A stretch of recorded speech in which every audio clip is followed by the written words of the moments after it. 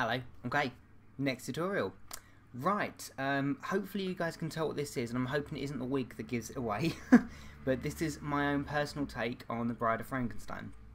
Or Frankenstein, or both, depends on how you look at it really. Um, I actually got a request from, um, Candice or Candice? I'll put your name there, so thank you so much for the request. Um, she requested that I do like Frankenstein or the Bride of Frankenstein or both. So I thought, well, Frankenstein's been done a lot on YouTube, and some people have done some amazing things with it, and I just don't think that I need to do one really. I mean, I can do it if you guys want to see it, but I mean, everyone's made such amazing goes of it, and yeah, I just don't think I should really. but um, so I thought I'd do the Bride of Frankenstein. And then I thought, I mean, there's the 1935 version that everyone knows with the eyebrow. That's what this part is, and the wig and the lips. But I thought that's not really, there's not enough makeup there for me. I mean, it's too cosmetic. I wanted something big. So I thought, okay, I'll take some inspiration from the Helena Bonham Carter version, um, which is an amazing makeup. But again, in itself, there's not a massive amount going on. There's that's where the scars come from and the neck and everything. But it needed something else, so I just mixed the two together, and I took some inspiration from the, from the 1955 version, it 1957. Oh, that's terrible. I can't remember these dates. The 1957, it is, yeah, uh, version. I think it was like a stage version or something like that, or a TV version. Anyway, so I took all of that and just blended it together, and this is what I came out with. Yeah, so it's got elements of all the Frankenstein movies and The Bride of Frankenstein, and yeah. So I hope it's okay that I did that, and I hope I did it justice for you guys. Um, yeah, it's quite gory. I mean, I, I basically, as it's getting closer and closer to Halloween now, I thought it's best. I better start making some darker, scarier looking tutorials. So I thought I'd introduce some blood. I'll do it, do it gradually. um, so yeah, you can consider this my first Halloween tutorial if you like, guys. so I hope you guys um, will enjoy this tutorial. Um, so stay tuned if you want to see how to do this look. Okay, so I've already blocked my eyebrows out. Um, I'm not going to show you how to do it in this video because I mentioned, I mean, I say how to do it in previous videos in the past, so I will just put a link to one of those there on how to do that, okay? Right, so the first thing I'm going to need to do is um, section up my face. Um, that sounds weird. Um, like where I'm going to put the stitches. Uh, so I'm going to use an eyeliner pencil. This is a Grimas. It's a kohl red. Yeah, just because it wipes off really easily, and red's probably the best colour to do it with anyway. So I'm just going to trace on the pattern that I want. So I'm going to have one eye that's completely, hopefully looking flawless and pretty and human, basically. The rest of it's going to be random different colour patches of skin that start decaying and stuff like that.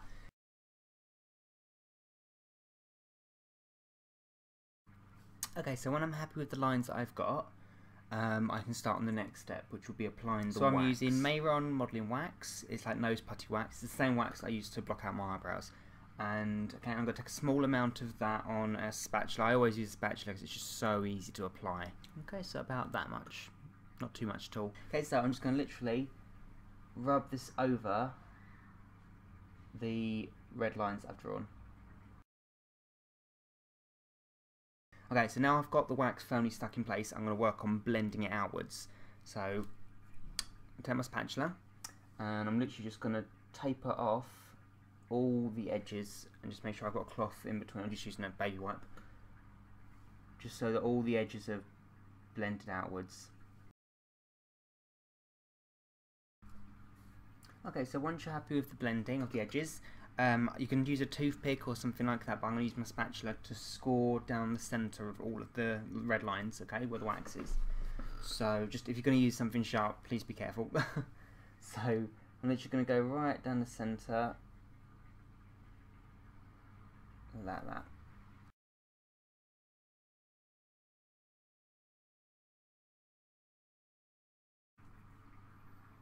Right, so now I'm going to take some collodion uh, this is by Kryolan. It basically, uh, it's the same method, same thing I use for my Joker makeup. Um, this will, once it goes on, when, as it dries, it tightens and puckers the skin, so this will make these scars look even darker, even deeper. Plus, um, I'm not only going to put them over the wax, I'm also going to put them around my mouth, okay? So I'm going to apply a couple coats of that, letting them dry in between, okay?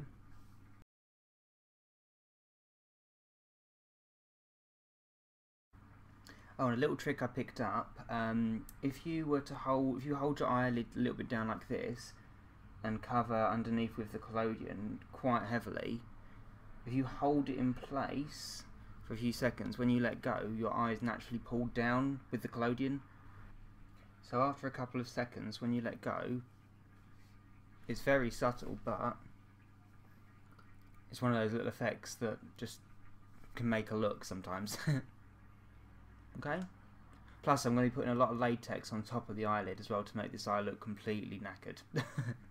okay, so once that's all dry, um, I'm going to start on the foundation. So I'm going to start on the good, the pretty side first. okay, pretty. so I'm using a Kryolan TV Pan Stick in 3W.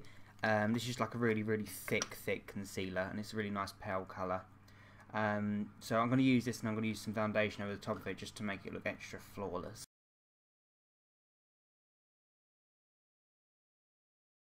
Okay, so when that's all blended, I can start on the foundation. So I'm going to be using uh, my MAC Studio Fix Fluid in NC15. It's like a really, really light, really light foundation. Okay, so I'm just going to apply that all over the same area again. Okay, so this is the fun part. Right, so I'm going to be using several different colour foundations here. Um, I'm going to be using MAC, all, all MAC Studio Fix Fluid. I'm using NC45, the NC15 I've already got on, and the NW35. Um, now, it really, really, really does not matter what colours you use, guys. It's, I mean, the idea is you're meant to be someone that's sewn together from different people. So you're not going to have the same skin tone all over. So just get creative as you want. Really doesn't matter. I mean, I'm, I'm using these because these are the foundations I love, really. Um, but what I'm going to do is, to switch it up a little bit, I'm going to be mixing in um, some Snazaroo green watercolour just to make it look a bit more decayed. Um, so I've literally just got a tiny bit of water with that and mix them up so it's like a paste, if you can see that. Not really. So I'm actually literally going to add about, I don't know, two to three drops of that to the watercolour. So it's got, like, not to the watercolour, to the foundation. So it's got a couple of, just that mildewy, not mildewy, going off type rotting flesh feel to it. Oh, by the way, the green that I'm using is Snazaroo Grass Green, if anyone wants to know what that is. okay, so I'm going to start off with the, I think the big area here. Um, so I'm going to use the NC15 again, because I think the green will look more effective with that. I'm just going to add literally just a couple of drops, hardly any at all, because otherwise it will go very green. Okay, so you're left with this horrible, dead looking, horrible flat colour that's got a green tinge to it. Right, so I'm just going to apply that all over my this whole area stopping at the edge. Um, I've just stopped there for a second because I've just realised, I mean, I can't just do the face. I think I need to have something else on the body. So I'm just literally going to do the wax again, just on my neck, in this pattern, because that's the thing that pattern that Helena Bonham Carter has. I mean, in that version. I'm just drawing a couple of random lines there just to, yeah, tie in. so I'm just going to quickly do the same process I did on here and put some wax, then collodion. Okay, so I just quickly finished off some wax. I'll blend it better in a bit, but for now I'll just focus on the colouring. So I've just coloured in my neck with the same colour I've used on my chin. Okay, and now I'm going to do the same thing with the mixture with the NC or NW35. Okay, and I'm going to do that, I think, on this part here. So I'm going to mix, yeah, this with about two to three drops of the green. Okay, and I also put some of that there as well. Right, and now so I'm going to use the NC45 with the three drops of green. Okay, so before I can do this part of my eye here, I need to use some liquid latex. So I'm going to take a small sponge I've cut up into a little square and a small amount of latex. I'm just going to close my eyes and you've got to be really careful on this step. You don't have to do it, but I just think it will add some real, it will just add something to the look really well.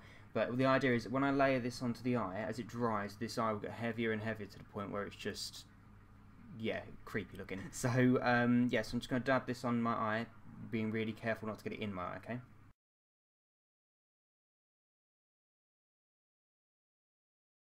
Okay, so I did about four to five coats of latex on there. It's still drying now, but even though it's not fully dried, you can still see the effect that it will give.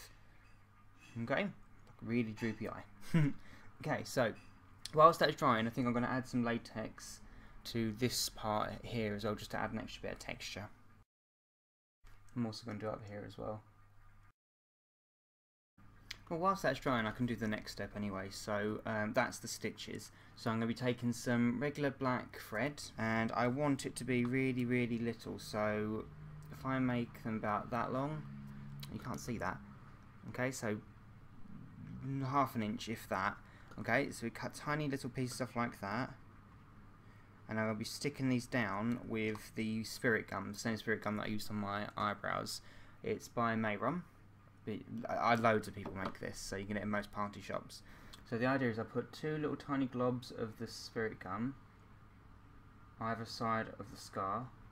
I'm going to have to use tweezers for this because it's really fiddly. And you just press, just press it down like that. And you can't really see that, but you'll see when the more you do on camera, you'll see more. You'll see it better rather.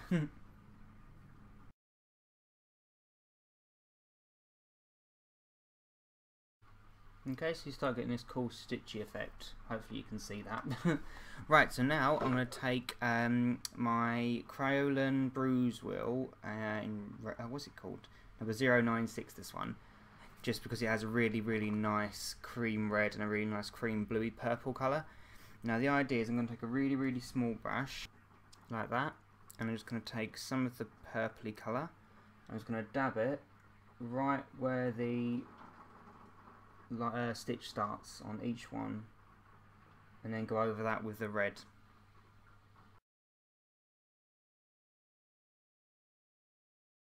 Okay, so she does something like that.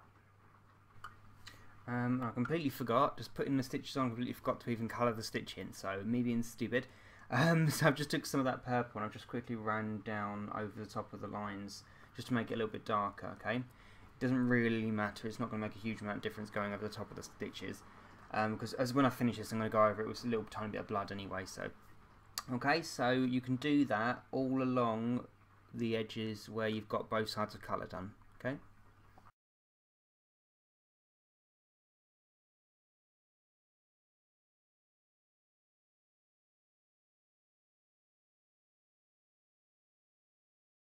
Okay, so just start looking like that. So I've just gone down all the scoring where I scored earlier with the wax.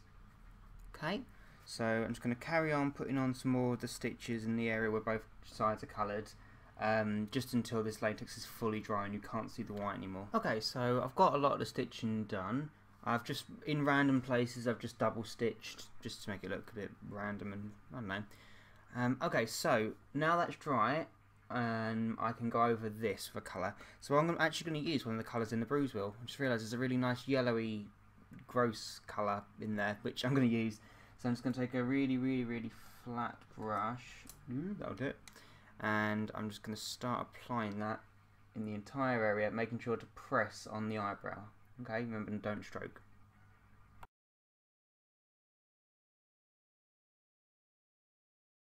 I'm just going to add a couple extra stitch lines above my eye, not with the wax or collodion, just with the red colour from the palette. Just go in, I don't know, just like that, just to, yeah, just to give something else in that area to make the eye, a reason for why the eye is like that. Okay, so now I'm going to continue with the stitches and I'll get right back to you. Okay, so once all the scars are done, it should start looking like that. Okay. Don't know if you can see that. Yeah. okay, so now I'm going to take some uh, fake blood. Um, this is this actual pot I think is a Grimas blood pot, but I filled it with my own. What is it? I've never used it all up now. My own blood mixture. Um, not literally. um, I make my own blood with like honey and corn syrup and red and blue and green food colouring and uh, corn flour rather, and yeah, just mixed together and yeah, basically. But there's so many different different recipes for blood. I mean, the reason I do that is because if I ever want to put blood in the mouth, um, is edible. So yeah. So I'm just going to apply a tiny bit of that just to the back of my hand. Mm-hmm. I think I got a little bit more control of it this way because I think if I apply it straight from the applicator, I'm worried that I'll apply too much because I really don't want to use that much. It's just not for overkill, it's just to complete the look really. I'm just going to go randomly in the scars, in the stitches, not too much. Every now and again I'll apply a lot so it can dribble down a little bit, but only around, only a couple times.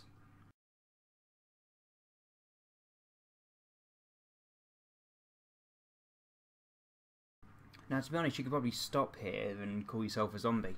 Yeah, but that's a different tutorial for another day.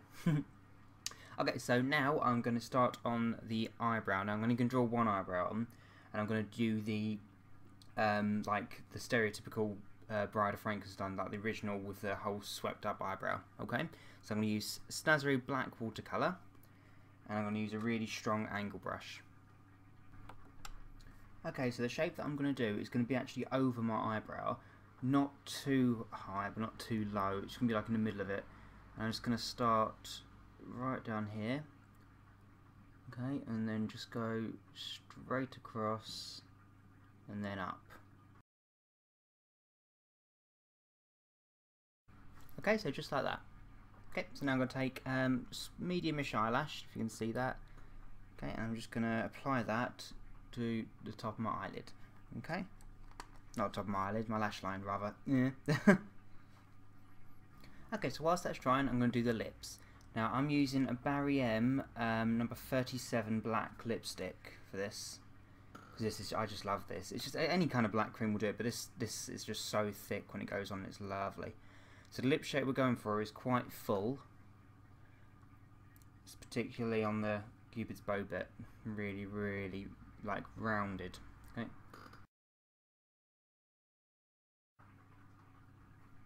Okay. So really nice full lip. Okie dokie. Okay, and I just applied a bit of false eye, um, bit of mascara to the false eyelash. Just a bulk standard mascara, not too much, just to bond the two together and I applied a black contact lens in this eye and a white out contact lens in that eye just to add to the effect and um, yeah I think that's pretty much it. Just got to apply my wig. And that's it. That's my tutorial. Um, I've pulled the wig back because I think she's supposed to have a big head isn't she? She's I mean the idea is the, the large forehead and that so yeah. Um, kind of went off on a tangent. This is what happens when I don't plan a tutorial. But fairly effective. As I said, you don't have to, I mean, you could just stop at the eyebrow and the eyelash and the wig. Just don't do those bits and you've got yourself a zombie. I was going to go and get myself a costume, but then I just thought, it's kind of just like a necklace and it kind of just works like that for me, I think. So thank you guys so, so much for watching. I really hope you enjoyed it. I hope it gave you some ideas as to what to be for Halloween, maybe. Also, since in my video before last, where I was talking about my Facebook page, um, so many more of you have found your way to it and liked it, so thank you so much. Because um, then I can communicate to you a lot better. It's a lot easier than communicating through YouTube, because not everyone sees the messages and such. Um, plus, you also get to take part in the Name That Character not competition. It's like name that character and you get a shout out in my next video. um, so speaking of which, um, I kind of skipped the video before. I'm really sorry I forgot to mention um, that basically the previous picture I posted was of the my magenta look, and the person who guessed correctly was Nadine. So hello Nadine, well done. um, so yeah, so I'll be posting this picture in shortly. So hopefully you guys will guess what this look was inspired by, and you'll win a shout out in my video after that. I also have a shout out to. I have to backdate these shout outs now because I missed the video before. um, but I also need to give a shout out to Charlie, hello. um, I'll put her YouTube name here. Um, and she guessed my um, geisha inspired look. She guessed what the theme was. So well done, yay. But um, yeah, so thank you guys so so, so so much for watching. Um, until next time, bye.